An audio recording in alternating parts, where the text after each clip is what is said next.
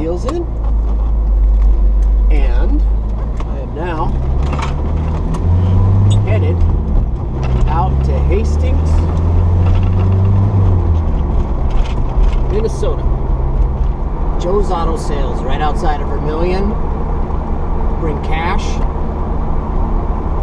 bring long pants, bring your own tools.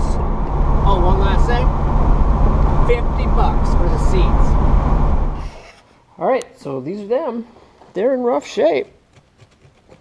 Gonna need to do a lot of rust repair on these guys, but everything is intact. That's a good thing. So just upholstery goes around and hog rings. I don't think these are called hog rings. Can't remember what they're called, but just curls around and hog rings onto the frame. No, onto the spring that's attached to the frame. These somehow keep the keep it from going. Look at the straps just gone to nature. All this stuff's gone to nature. So I'm gonna have to rebuild this. And those are the doors, and those are the backs of the seats. Fun stuff, man. Fun stuff. All right, so here's my plan.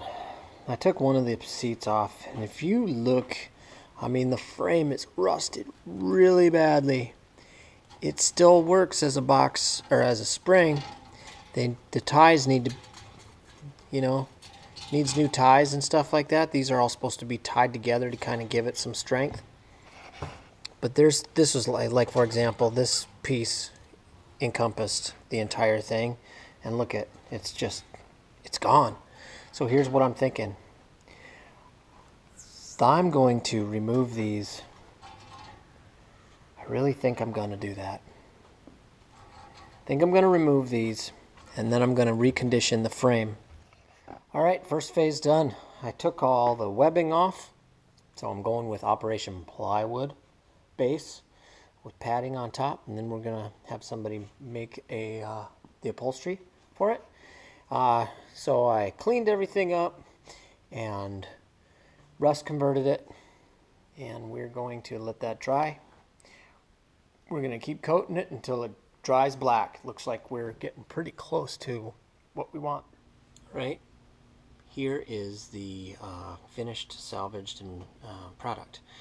So I had to get rid of the springs of course but I salvaged it found found it luckily rust converted it just kept putting the rust conversion on until it dried black then I top coated with an original equipment black uh, just to protect it. And then I installed it. When I pulled it from the salvage yard, I was really careful to get everything I could possibly get. I could not get the seat belts uh, or the seat belt um, mounts, but I could get everything else. So let's walk you through it. This is a hanger.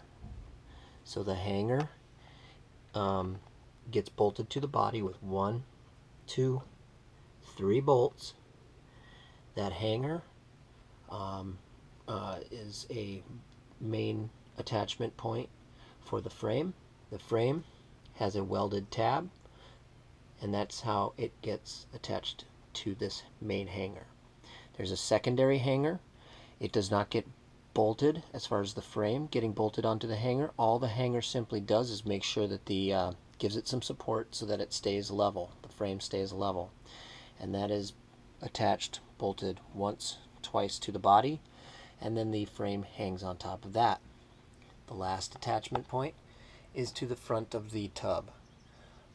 The frame rests on top of this shelf, this tub shelf, and then one bolt goes through the body uh, on and uh, once again it's a welded tab onto the frame.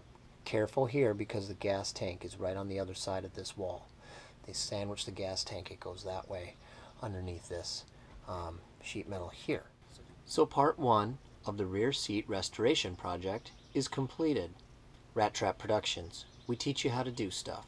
Today I taught you the first part in installing the rear jump seats in a 60s, 70s, and even 80s Ford Country Squire.